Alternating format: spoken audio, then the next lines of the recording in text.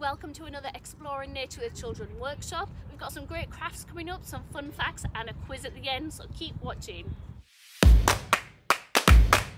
My name's Rachel, these are my three home-ed kids and today we're hunting for earthworms!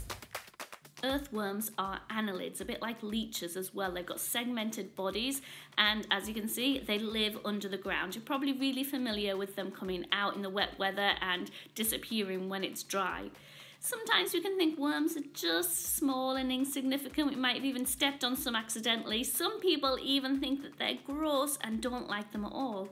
Yet what would you say if I said they were really important? Why do you think worms are important?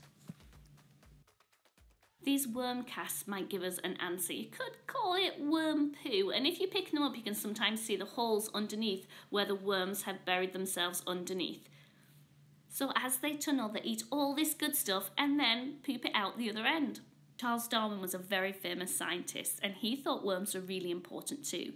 These are the reasons why. They're really important part of the food chain so other animals eat them, but also they mix up that soil, make it really healthy for our food to grow in. We decided to build a worm to explore its anatomy. We used Swiss rolls, as you can see, to make all the different segments. Now you can see right in the middle there's a big chunk of Swiss roll. That's a clitellum. That forms the cocoon for the worm's eggs. You can see we're just finishing off the head there. That's where the mouth is. The mouth doesn't have any teeth. The head doesn't have eyes either. All along the body of the worm are photoreceptors that help it sense the light.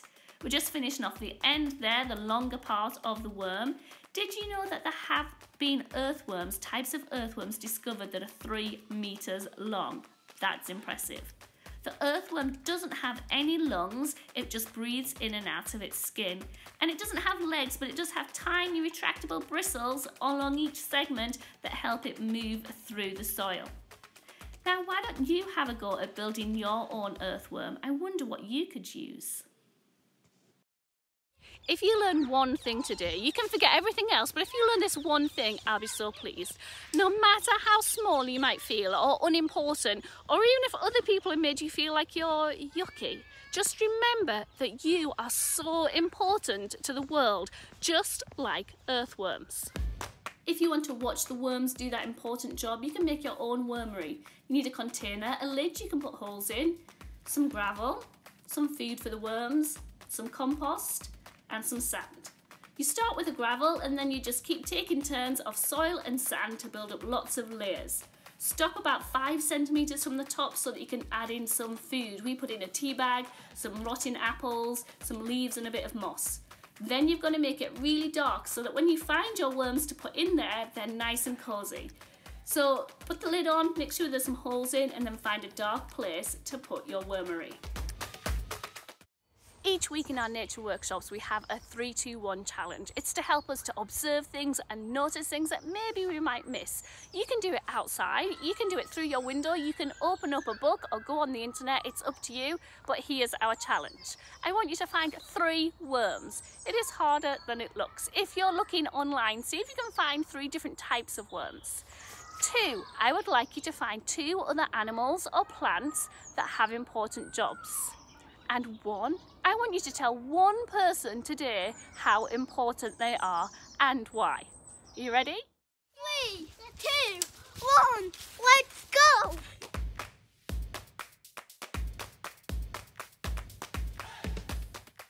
Well, we found lots of worm casts so far, but are you tired? It's been an ex exhausting journey and we haven't found any worms. So we're going to head home for some hot chocolate. But while we're doing that, you've got a quiz. So it's really simple. If you've been listening, you will know all the answers already. All you have to do is a thumbs up if you think it's true and a thumbs down if you think it's false. Let's do it.